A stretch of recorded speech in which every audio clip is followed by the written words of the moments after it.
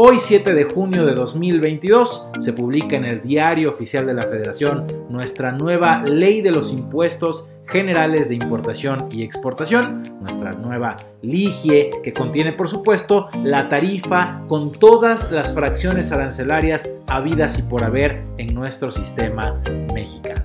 Esta publicación trae modificaciones importantes y relevantes, principalmente enfocada en dos sectores. Número uno, electrónicos.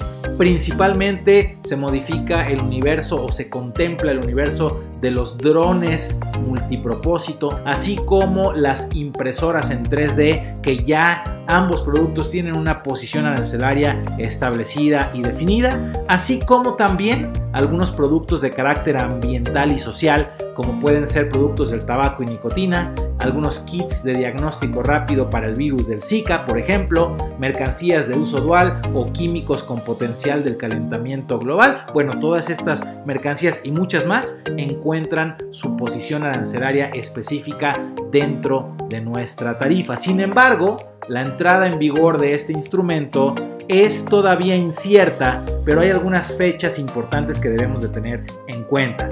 Lo primero es que Secretaría de Economía tiene hasta el 18 de julio de este año para publicar los números de información comercial, los NICOS, así como las tablas de correlación entre la tarifa todavía vigente el día de hoy y la tarifa nueva que se acaba de publicar.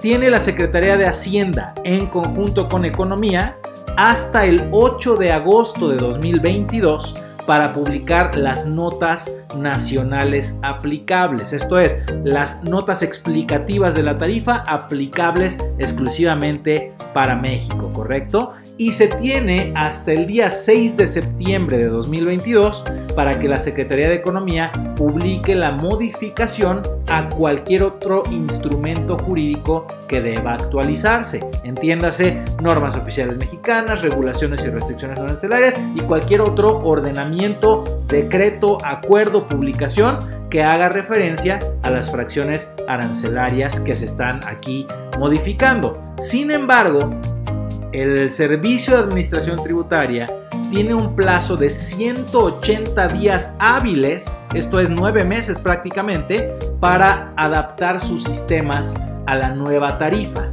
Y 10 días hábiles posteriores a que el SAT avise que ha adaptado sus sistemas, entonces y solo entonces entrarán en vigor todos los cambios que nos trae la nueva ley de los impuestos generales de importación y exportación. Por lo tanto, la entrada en vigor la esperamos a más tardar en el mes de abril de 2023, plazo en el que se cumplirían los 190 días hábiles que otorga el decreto, pero no antes de el 6 de septiembre de 2022 cuando se cumplirán los plazos que tiene la Secretaría de Economía para adaptar toda la legislación eh, en la materia de comercio exterior. Entonces, entre septiembre 22 y abril del 23, esperaríamos que estos cambios tomen eh, vigor efectivo para nuestras operaciones de comercio exterior. Si tienes cualquier duda o requieres alguna aclaración respecto de este decreto, por favor